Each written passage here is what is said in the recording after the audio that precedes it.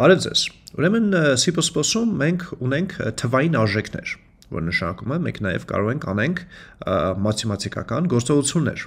Օրինակ, ստեղ մենք ինչ ենք անում։ Դե include iostream, նշանակում է iostream գրադարանը քաշում ենք, հետո ստեղծում ենք մի հատ ֆունկցիա main, որը այդ առաջին այդ ֆունկցիան է կամ առաջին բանն է, հա, հրամանն է, որը կաշխատի, երբ մեր ծրագիրը սկսի ինքը ոնց որ սա իր սկիզբն է, սա իր ավարտն է եւ ինքը ինչ է անում։ Ինքը օգտագործելով cout, որը պատկանում է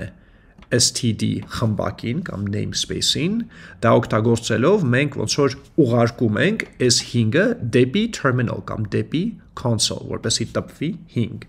հետո գրում ենք std end l որ այսինքն ավարտը տողի որպեսզի ինքը ոնց որ գնա հաջորդ տող եւ դրանով ավարտվում է մեր ծրագիրը։ Okay, այսքանը པարս է։ Հիմա ստեղ մենք կարող ենք անենք sense բան 5 գումարած 6 օրինակ։ Եվ ինչ կստացվի, որ նախ եւ առաջ այս 5 գումարած 6-ը կհաշվարկվի, կստանանք 11, հետո նոր է 11-ը, այսինքն մենք չենք ուղարկում 5 գումարած 6, այլ իր արդյունքը։ Հետևաբար, եթե հիմա ես սա compile անեմ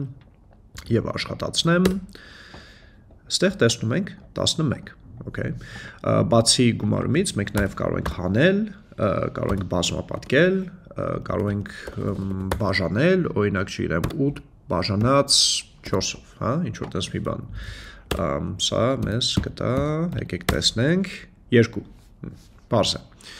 Էլ ինչ կարող ենք անենք։ Գոյություն ունի modulo օպերատորը։ Modulo-ն սա ոնց որ sense տոկոս է, essence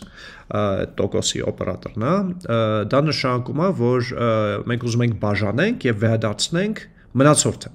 Okay։ Դե եթե 8-ը բաժանենք 4-ով, մնացորդ չկա։ Հետևաբար մենք կստանանք, հեսա տեսնենք ինչ, կստանանք 0, հեսա, չէ՞։ Բայց եկեք բաժանենք օրինակ 9 4-ով, okay, այդ ժամանակ դե կա մնացորդ։ Ինչ է այդ մնացորդը։ Հեսա տեսնենք։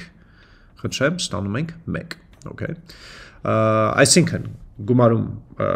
հանում, բաժանապատկում բաժանում եւ modulo, okay, տոկոսը կոչվում է modulo, այսինքն բաժանել եւ վերադասնել մնացորդը։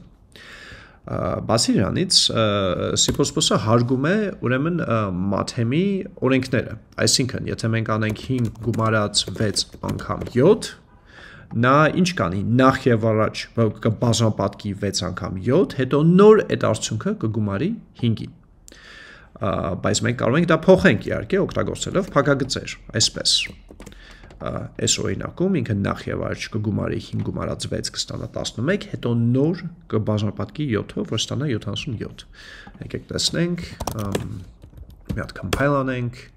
աշխատացնենք կոդը եւ ստանում ենք 77։ Ահա, խնդրեմ։ Այդքան բան, հույսով մեզ քանը բարձր, շուտով կհանդիպենք։ Առաջ